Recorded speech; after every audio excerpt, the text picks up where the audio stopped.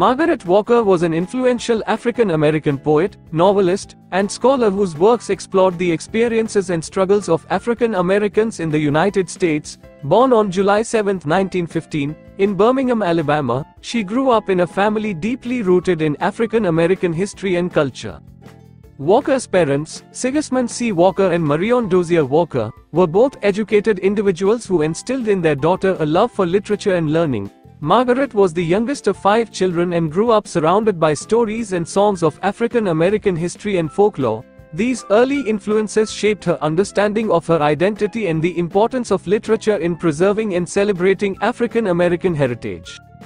In 1935, Margaret Walker graduated from Northwestern University with a Bachelor of Arts degree in English. During her time at Northwestern, she became actively involved in the vibrant cultural and literary scene, participating in poetry workshops and joining the Omega Psi Phi fraternity. Walker went on to pursue further studies at the University of Iowa, where she earned a Master of Arts degree in creative writing.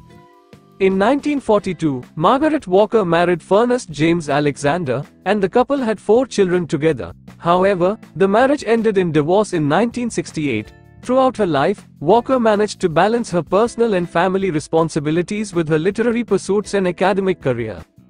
Margaret Walker's academic career was marked by her commitment to education and African American studies. In 1949, she joined the faculty of Jackson State College, now Jackson State University, in Mississippi, where she taught English and literature for several decades. Walker also played a significant role in establishing the university's Institute for the Study of the History, Life, and Culture of Black People, which focused on promoting African American culture and heritage.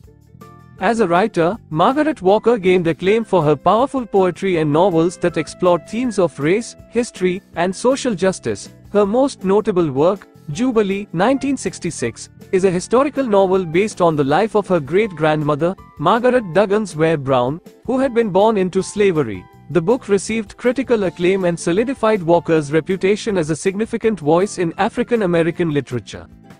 Margaret Walker continued to write and publish poetry throughout her life, with collections such as For My People, 1942, and Prophets for a New Day, 1970, receiving praise for their evocative and poignant verses.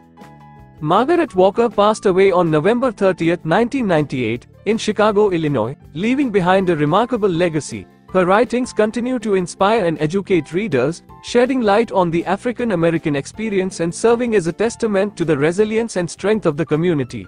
Walker's work remains an important contribution to American literature and a powerful voice in the ongoing struggle for equality and justice.